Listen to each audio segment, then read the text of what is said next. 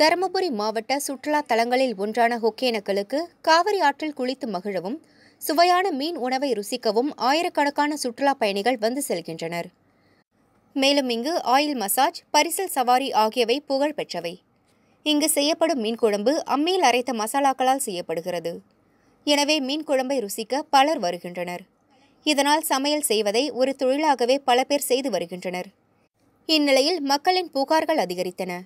இதனையடுத்து மாவட்ட உணவு பாதுகாப்பு அதிகாரிகள் ஒகேனக்கல் மீன்வள ஆய்வாளர்கள் இன்று திடீரென ஒகேனக்கல் மீன் விற்பனை கூட பகுதியில் சோதனை செய்தனர்.